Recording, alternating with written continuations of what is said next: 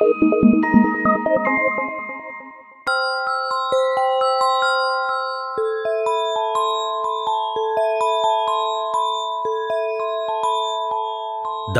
Prince এক শহরে এক রাজকুমারী ছিল খুবই সুন্দরী।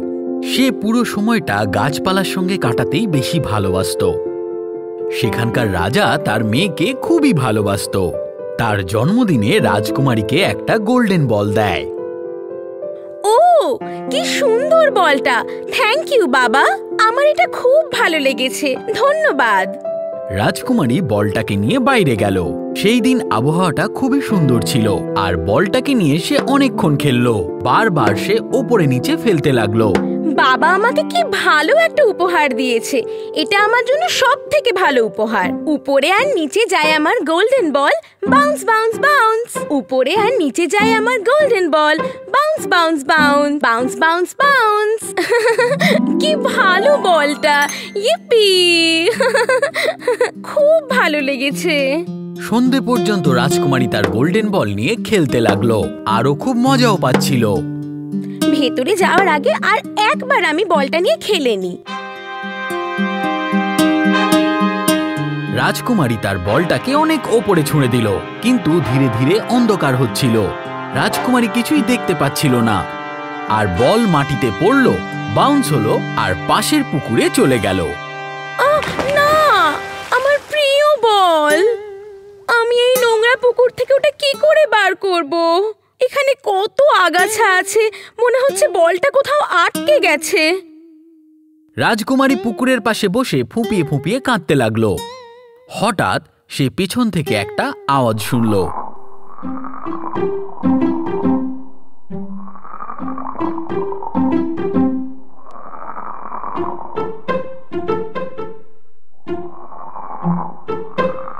এই বেকার আওয়াজ করাটা বন্ধ করো। দেখতে পাচ্ছ না আমার কত দুঃখ?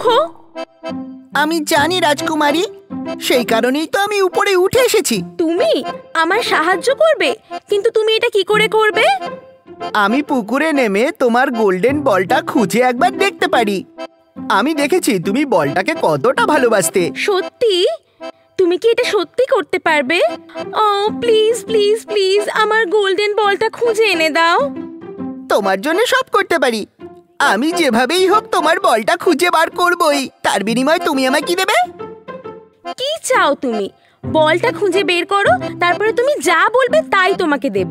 কথা দেওয়ার আগে আরেকবার ভালো করে ভেবে নাও আমার রাজকুমারী। হ্যাঁ হ্যাঁ আমি ভেবে নিয়েছি। যাও আগে বলটা খুঁজে নিয়ে আসো। ঠিক আছে তাহলে আমার সাথে বন্ধুত্ব করতে হবে। আমার সাথে খেলতে হবে আর একসঙ্গে খেতেও হবে। আর আমি তোমারই বিছানার উপরে শোবো। তাহলে তুমি রাজি? তোমার মাথা খারাপ হয়ে গেছে নাকি?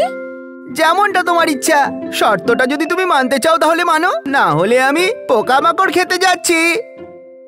হে দাঁড়াও দাঁড়াও দাঁড়াও। আমার কাছে বলটা পাওয়ার আর কোনো উপায় নেই। এখনকার জন্য হ্যাঁ বলে দিচ্ছি। একে তো পরেই দেখা যাবে। ও দুষ্টু ফ্রগি। ঠিক আছে তুমি আমার বন্ধু হতে পারো। তুমি বলটা খুঁজে নিয়ে আসো তারপর আমরা একসঙ্গে খেলব। আমি পাক্কা প্রমিস করছি। তাহলে ঠিক আছে আমি এক্ষুনি যাচ্ছি। ফ্রগ পুকুরে ঝাঁপিয়ে পড়ল। রাজকুমারী পুকুরের পাড়ে বসে অনেকক্ষণ ধরে তার জন্য অপেক্ষা করতে থাকল।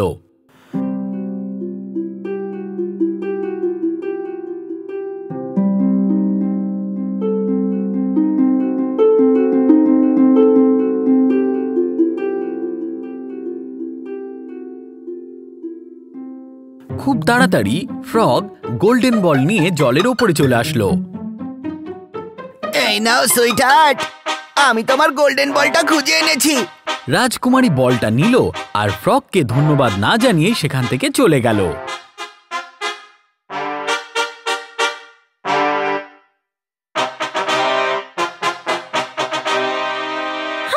আমার বন্ধু হবে। কখনো আয়নায় নিজের মুখটাও দেখেছে? রাজকুমারী ফ্রগকে দেওয়া কথা একেবারেই ভুলে গেল। ওর মনে হলো ফ্রগের সঙ্গে আর ওর কোনোদিনও দেখা হবে না।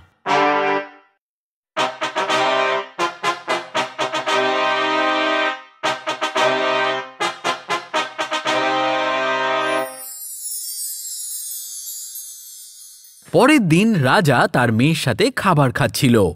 তখনই একটা অদ্ভুত আওয়াজ শোনা গেল।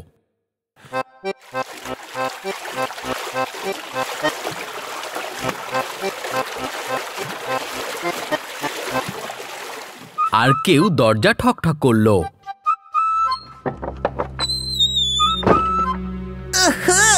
দেখো রাজকুমারী তোমার বন্ধু এসে গেছে। তুমি আমার সাথে খাবার খাবে বলে কথা দিয়েছিলে তাই তো? তোমার মনে আছে তো? আমার ভীষণ খিদে পেয়েছে। হ্যাঁ? এটা কি হয়ে গেল? আমি তো একে পুরোপুরি ভুলেই গেছিলাম। কি জানি কি করে ও মহলে চলে এলো। এ আবার কে মা? ছেড়ে দাও বাবা এই ফ্রগটা আসলে পাগলের মতো আমার পিছনে পড়ে রয়েছে। দাঁড়াও আমাকে জানতে হবে এই দুষ্টু ফ্রকটা কি বলতে চায়। ও বাবা আমাদের সময় নষ্ট করা উচিত নয়। মা আমি বললাম যে ওই দুষ্টু ফ্রকটার সাথে আমার কথা বলতে হবে এক্ষুনি। রাজকুমারীকে তার বাবার কথা শুনতেই হলো। না চাইতেও ফ্রককে তাকে ঘরে আসতে দিতে হলো। তোমার সাথে দেখা হয়ে বেশ ভালো লাগল। তুমি এখানে কেন এসেছ? নোংরা জলের পোকা? তুমি আমার সঙ্গে বাইরেও তো দেখা করতে পারতে না। আ রাজকুমারী আমি সারাদিন ধরে তোমার জন্য অপেক্ষা করে বসে আছি আর তুমি এলেই না। আমি যে তোমার কথাই ভাবছিলাম। ঠিক আছে খাবার খাও আর বেরিয়ে যাও। তুমি এতটা রাগ কেন করছ বুঝতে পারছি না। আমি তোমার গোল্ডেন বল খোঁজার জন্য সাহায্য করেছিলাম তো। এসব আবার কি হচ্ছে? কিচ্ছু না আমার মহারাজ। গতকাল রাজকুমারীর গোল্ডেন বলটা পুকুরে পড়ে যায় আর ও আমাকে কথা দিয়েছিল যে ও আমার বন্ধু হবে একসাথে খাবারও খাবে আর ওর বিছানাতে আমাকে শুতেও দেবে।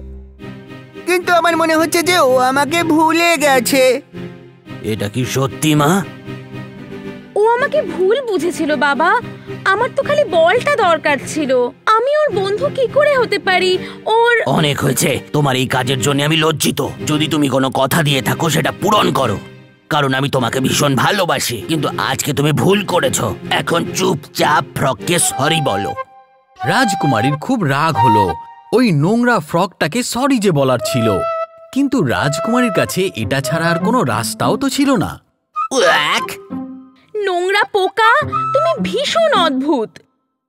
এবারে তোমাকে আমার সঙ্গে শুতেও দিতে হবে।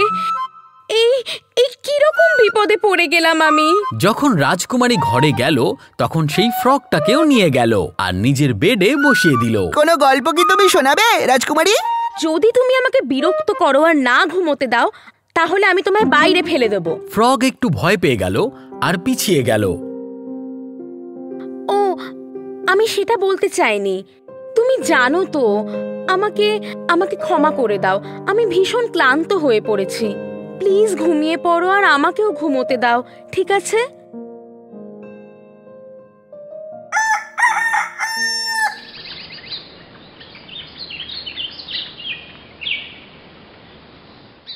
পরের দিন ফ্রগ রাজকুমারীর ওঠার আগেই সেখান থেকে চলে যায়।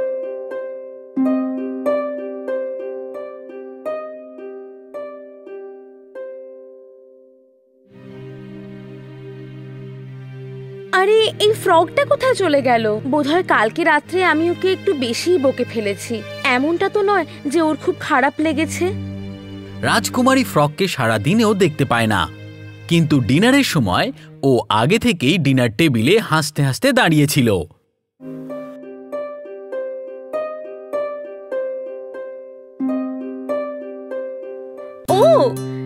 এসে গেছো হ্যাঁ? আমার তো মনে হয়েছিল কালকে রাত্রের পর থেকে তুমি আমার উপর রেগে আছো। ও না না আমার রাজকুমারী আমি চাইলেও তোমার উপরে রাগ করতে পারব না।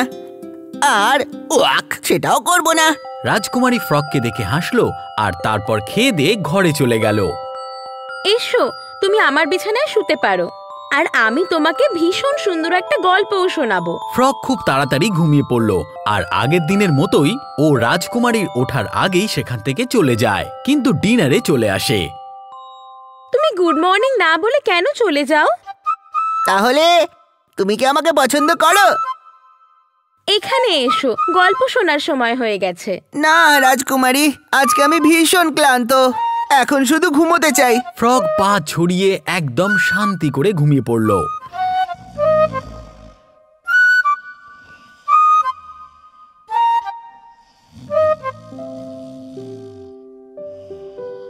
রাজকুমারী ওকে দেখে একটু হাসলো। এতটাও বাজে নয় আমার ফ্রগি। আর তারপর সে ফ্রগকে কিস করল আর নিজেও ঘুমিয়ে পড়ল।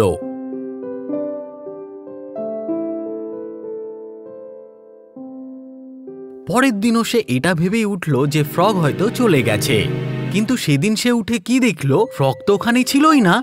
আর ওর পাশে একজন খুব হ্যান্ডসাম একটা ছেলে শুয়েছিল। কে? কে তুমি? আর আমার বিছানায় কি করছ? আমার সুন্দর রাজকুমারী ভালোই হয়েছে তুমি উঠে গেছো। কিন্তু তুমি কে? আমি হলাম সেই কুৎসিত ফ্রক তোমার বন্ধু। আমি অনেক দিন ধরেই তোমাকে পুকুর থেকে দেখছিলাম। তুমি যে খুবই সুন্দরী।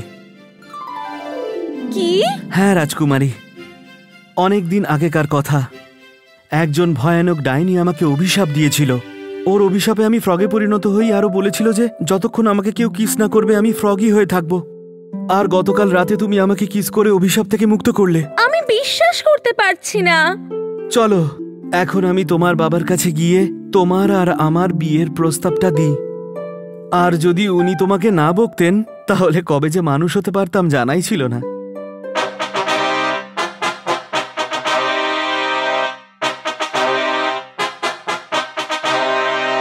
তো রাজকুমারী রাজকুমারকে নিজের বাবার কাছে নিয়ে গেল। তারপর রাজকুমার নিজের গল্প নিজেই বলল। তাহলে এখন আমার মহারাজ এখন আমি আপনার মেয়েকে বিয়ে করে ওকে আমি আমার রাজ্যে নিয়ে যেতে চাই। আমার মা বাবাও আপনার মেয়েকে দেখে ভীষণই খুশি হবেন। হ্যাঁ হ্যাঁ কেন নয়? যদি তুমি আমার মেয়েকে বিয়ে করো তাহলে সব থেকে খুশি আমিই হব। এভাবেই রাজকুমার তার রাজকুমারীকে নিয়ে চলে গেল।